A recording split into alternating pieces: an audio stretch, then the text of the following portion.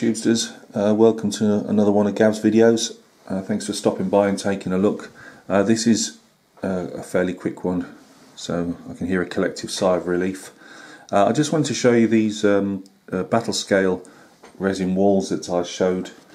I did a, a bit of a review on, um, or show and tell, a few weeks back, and I finally got round to doing them. These are for my 10mm buildings and 10mm figures. Uh, hopefully they can be used for more or less anything. I mean, obviously I've got them originally for the League of Augsburg project that I've uh, working on at the moment, but um, I've also got 10mm American Civil War figures to paint up at some stage, and I can't see why they wouldn't uh, roughly be used for, for parts of those, you know, um, different walled areas, obviously. so uh, yeah, just have a quick squeeze. Uh, so far they've been fairly indestructible because I actually bounced one on the floor from uh, about uh, five foot up in the air and it actually bounced off a metal radiator before it hit the floor onto a laminate floor and um, it's perfectly fine so hopefully that says a lot for the product. Um, I'm going to be sticking, I have tried to put lo lollipop sticks underneath, ice lolly sticks. Uh, the normal size ones are too small for the base really and the larger size ones I thought they might do they, they tend to buckle under and warp under putting PVA on them and they did the same thing. So what I'm actually just going to do is stick some offcuts of uh, the magnetic uh, um, stuff that I use for the for the bases of the the soldiers.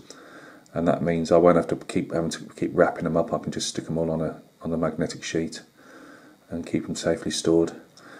So uh, they've just been dry brushed with uh, more or less every grey under the sun on a black uh, base coat.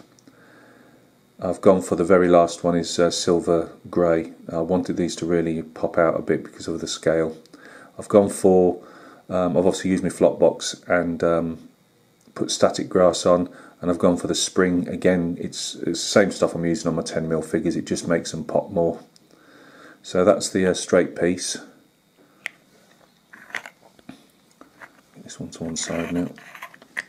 This guy's obviously a ruined section. Again, just um, just uh, umber, uh, brown umber, whatever you want to call it, burnt umber. I can never remember.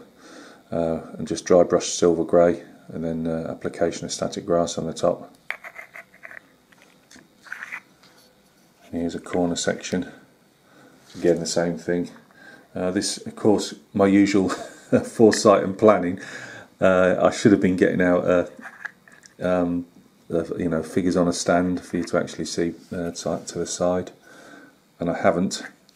So let's just see if we can put these are some this is some Jacobite infantry from Gormanston's regiment.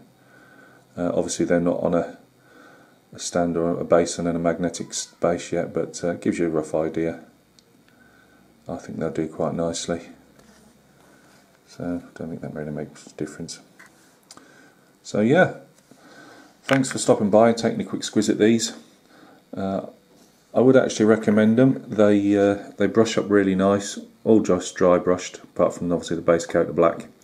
And as I say, so far I've had one bounce off the off the floor and uh, come up smiling. So yeah, big thumbs up, all good. So thanks a lot guys and I'll catch you again on another vid. Cheers.